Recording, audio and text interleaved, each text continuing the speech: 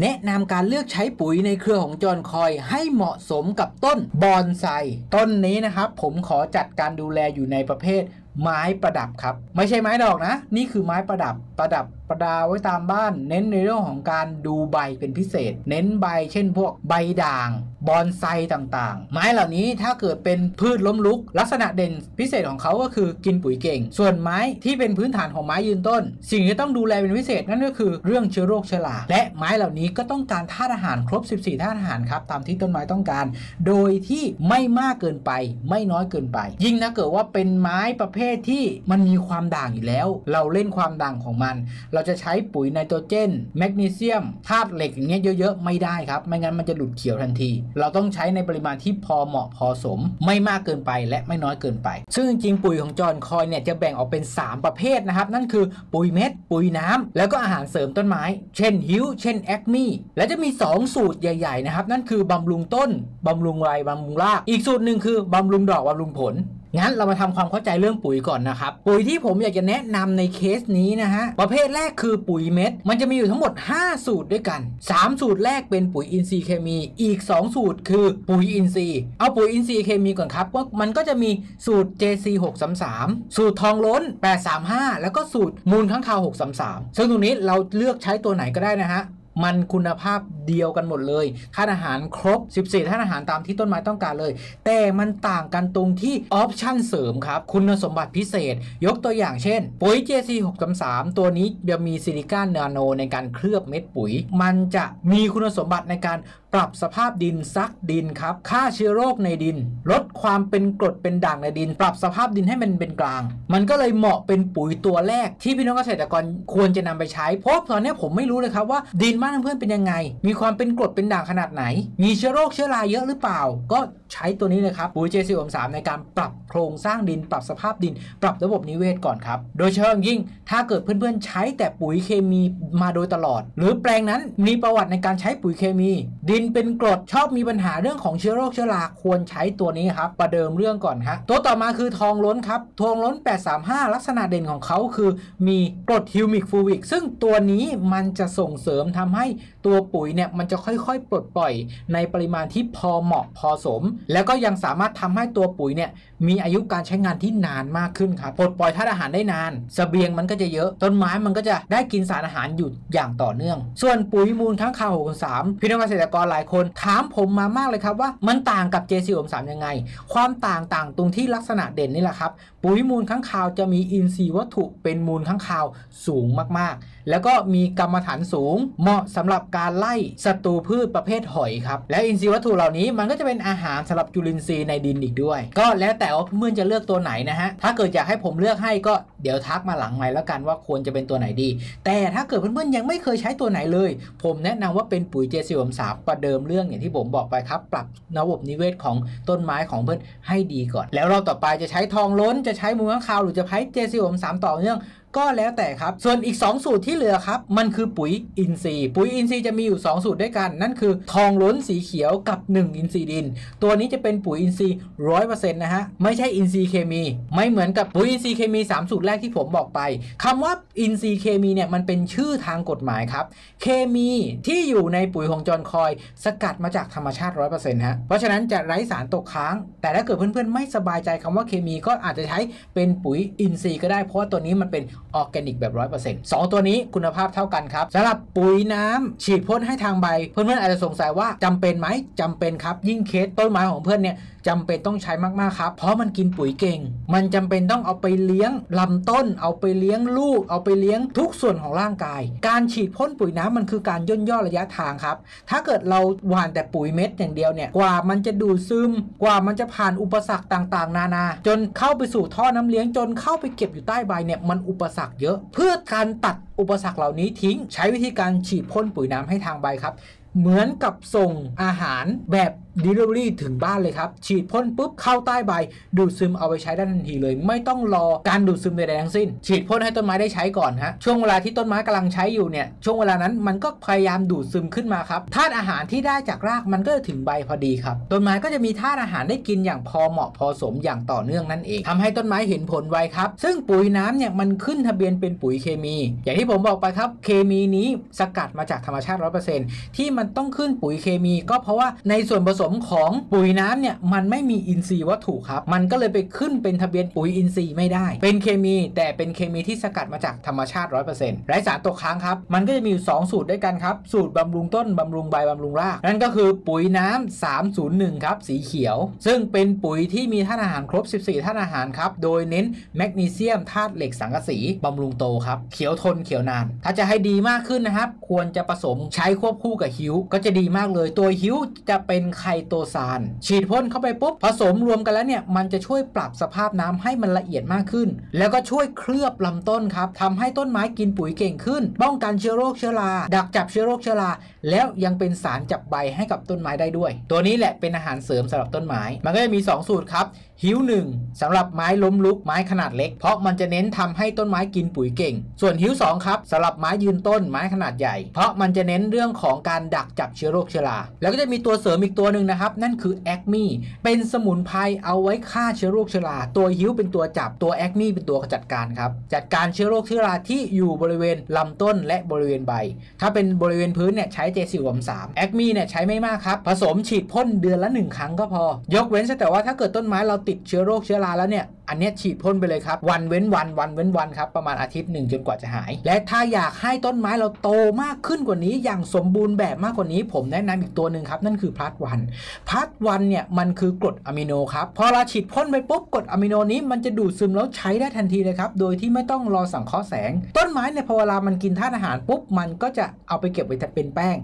รอสังเคราะห์แสงปรุงแป้งนี้ให้กลายมาเป็นน้ำตาล ปรุงน้ำตาลให้กลายมาเป็นกรดอะมิโน แต่ตัวนี้เราไม่ต้องรออปรุงอาหารครับ ฉีดพ่นต้นไม้นำไปใช้ได้ทันทีเลย ถือว่าเป็นปุ๋ยก๊อกแรกสำหรับต้นไม้เอาไปใช้ก่อนเลยครับ ช่วงเวลาที่ต้นไม้ใช้ธาตุอาหารในปุ๋ยน้ำที่กักเก็บไว้ใต้ใบมันก็เริ่มถูกปรุง ไปเป็นกรดอะมิโนเป็นปุ๋ยก๊อก2ครับและช่วงเวลาปรุงอาหารนี้ธาตุอาหารที่มาจากดิน มันก็ขึ้นถึงใต้ใบพอดีกลายเป็นปุ๋ยก๊อก 3 นั่นเอง จอนคอยมีปุ๋ยแบบ 3ก๊อกแบบนี้นะฮะแต่ถ้าเกิดเพื่อนๆมีงบประมาณจำกัด เราอาจจะใช้แค่ปุ๋ยก๊อก 2 ปุ๋ยก๊อก 3 ก็ได้ ไม่ต้องใช้ปุ๋ยก๊อกแรกก็ได้ อันนี้แล้วแต่งบประมาณของเพื่อนนะครับ ถ้าเกิดเพื่อนๆอยากให้ต้นไม้ฟื้นตัวเร็ว เติบโตไวก็ควรจะใช้ควบคู่กับ plus one ด้วยฮะ อีกสูตรหนึ่งคือสูตรบำรุงดอกผล ก็จะคล้ายๆ กับบำรุงต้นบำรุงใบบำรุงรากนั่นแหละ แต่ กลับกันครับ เปลี่ยนจาก 301 เป็น F plus ตัว F plus คือธาตุอาหารครบ 14ธาตุอาหารเหมือนกันครับ โดยเน้นแคลเซียมโบรอน ส่วนฮิวใช้เหมือนเดิม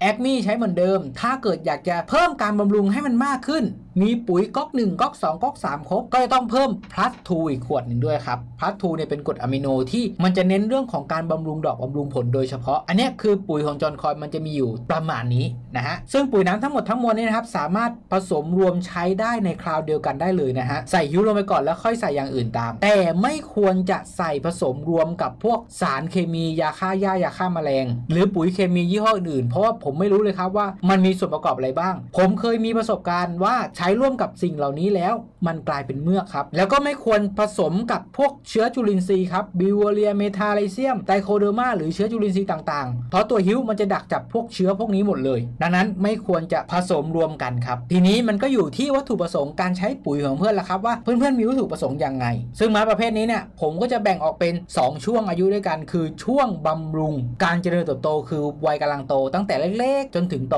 กับอีกช่วงคือช่วงเก็บผลผลิต อันนี้ผมก็ไม่รู้เหมือนกันว่าตอนนี้ต้นไม้ของเพื่อนเนี่ยอยู่ในช่วงเวลาไหน เอาอย่างนี้แล้วกัน ผมจะเล่าวิธีการใช้ตั้งแต่ต้นทางจนจบเลยดีกว่า ครบวงจรเลย เพื่อนๆก็ลองเอาไปปรับใช้ดูแล้วกัน ในคลิปวิดีโอนี้เพื่อนๆไม่ต้องเชื่อผมก็ได้ครับ ผมแค่รวบรวมตามสถิติที่เกิดจากประสบการณ์ตัวผมเองและลูกค้าหลายๆท่าน ที่เคยใช้ตามสูตรผมแล้วเกิดความประทับใจ แต่ผมต้องบอกตรงนี้ก่อนนะครับว่าผมแนะนำเรื่องของวิธีการใช้ปุ๋ยในเครือของจอนคอยเท่านั้น ส่วนเทคนิคอื่นๆ วิธีการต่างๆ ตามทฤษฎีตามภูมิปัญญาชาวบ้าน ตามปราชญ์การเกษตร ผมจะไม่แตะนะฮะ เพราะผมเชื่อว่าเพื่อนๆเก่งมากกว่าผมอยู่แล้วครับ งั้นเราเริ่มมาตั้งแต่การเริ่มเตรียมดิน เตรียมความพร้อมในการลงต้นกล้าก่อนเลยครับ ไม้ประเภทนี้เราเลี้ยงในกระถางใช่ไหมฮะเพราะฉะนั้นเราจะใช้ปุ๋ยอะไรก็ได้นะครับ ในเครือของจอนคอยปุ๋ยเม็ดเนี่ยหว่านไปตามปริมาณที่รอบกระถางแล้วกัน เพื่อนๆเคยหว่านปุ๋ยเคมีขนาดไหนเราก็ใส่ปุ๋ยของจอนคอยขนาดนั้นเลย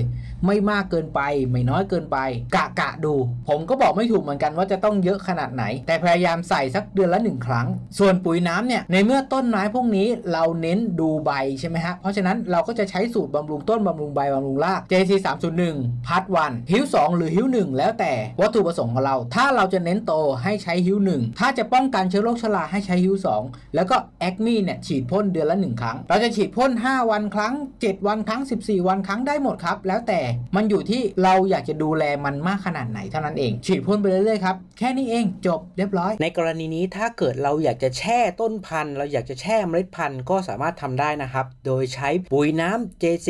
301 plus 1หิวผสมลงในน้ำแช่ได้เลยนะครับ ประมาณครึ่งชั่วโมง หรือสักหนึ่งคืนก็ได้แล้วแต่เทคนิคของแต่ละคน ใครเคยแช่ขนาดไหนเคยเคยแช่ระยะขนาดไหนก็แช่ประมาณนั้นได้เลย ใช้ปุ๋ยน้ำของจอนคอยร่วมด้วยได้ครับ และเทคนิคพิเศษนะครับสำหรับเมล็ดพันธุ์ถ้าเกิดเรากลัวไม่อยากจะให้มแมลงเนี่ยมาคาบเมล็ดพันธุ์ของเราไปเนี่ยก็อาจจะแช่ด้วยน้ำบอระเพ็ดก็ได้เหมือนกัน ในการแช่นะครับเพื่อนๆสามารถที่จะใช้ยาฆ่าเชื้อรา ยาฆ่าแมลง หรือยาอะไรก็ได้ครับผมใส่ผสมรวมกันได้เลย แล้วก็ใส่แอคมีเข้าไปด้วย เพื่อป้องกันเชื้อโรคเชื้อราในท่อนพันธุ์ของเรา แต่ก็อย่าแช่นานเกินไปนะครับ เพราะว่าการแช่ด้วยปุ๋ยน้ำของจอนคอยเนี่ยอาจจะทำให้รากมันงอกเร็ว ถ้าเกิดเอาเข้าเครื่องเนี่ยบางทีอาจจะทำให้รากขาดได้อันนี้ก็ต้องระมัดระวังกันด้วยนะครับ ถ้าเกิดเพื่อนๆอยากทราบข้อมูลเพิ่มเติมมากไปกว่านี้นะครับ ก็เข้ามาชมศึกษาข้อมูลได้ด้วยตนเองนะฮะในเว็บไซต์ burinonline.org ตามที่อยู่ที่ขึ้นอยู่ตรงนี้ได้เลย ในนั้นผมได้รวบรวมทั้งองค์ความรู้เทคนิคต่างๆ และรีวิวจากผู้ใช้ปุ๋ยในเครือของจอห์นคอย ผมได้รวบรวมไว้ในเว็บไซต์นี้แล้วครับสรุปนะครับการเลือกใช้ปุ๋ยของจอห์นคอย ให้เหมาะสมกับต้นไม้ของเพื่อนเนี่ยไม่ว่าต้นไม้นี้จะอยู่ในช่วงเวลาไหนก็ตาม เราก็สามารถใช้ปุ๋ยของจอห์นคอยได้เสมอครับไม่ต้องเปลี่ยนสูตรก็ได้ เพราะมันครบจบในสูตรเดียวอยู่แล้ว มันมีท่านอาหารครบ 14ท่านอาหารครับ เพื่อนๆไม่ต้องเปลี่ยน เปรียบเสมือนคนเราครับ จะวัยเด็ก วัยผู้ใหญ่ วัยกลางคน หรือวัยชรา จะเป็นฝรั่ง จะเป็นคนไทย จะเป็นคนแอฟริกา หรือคนยุโรป ก็จำเป็นต้องกินอาหารให้ครบ 5 หมู่เหมือนกัน ต้นไม้ก็เช่นเดียวกันครับ ปุ๋ยของจอนคอยมีครบแล้ว ไม่ต้องเปลี่ยนสูตรแล้วฮะ ไม่เหมือนกับปุ๋ยตามท้องตลาดที่ต้องเปลี่ยนสูตร เพราะเขามีไม่ครบ 14ท่านอาหาร ตามที่ต้นไม้ต้องการเหมือนกับสูตรนี้ครับ ซึ่งเพื่อนจะเลือกใช้ปุ๋ยเม็ดในสูตรไหนก็แล้วแต่เพื่อนครับชอบ JC ผม3ก็ใช้มูลค้างคาวผม3ก็ใช้ทองล้นก็ใช้ได้ ผมก็จะยินดีจำหน่ายได้ทุกสูตรครับ คุณภาพเท่ากันหมด มันขึ้นอยู่กับวัตถุประสงค์ของเพื่อนอย่างที่ผมบอกไปตั้งแต่ต้นฮะว่าปุ๋ยแต่ละสูตรมันมีคุณสมบัติพิเศษที่แตกต่างกันไป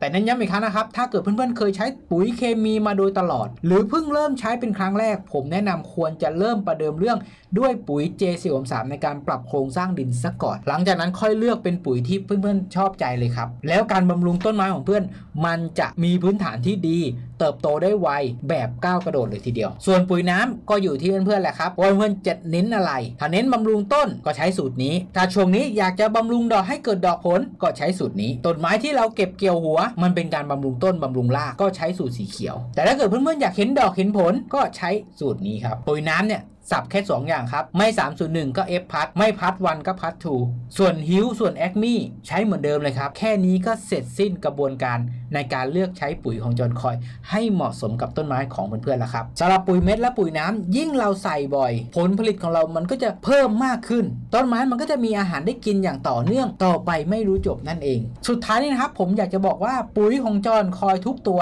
ไม่ได้มีส่วนช่วยในเรื่องของการเพิ่มผลผลิตทางการเกษตรให้มากขึ้น แต่คนที่เคยมีประสบการณ์ใช้แล้วผลผลิตดี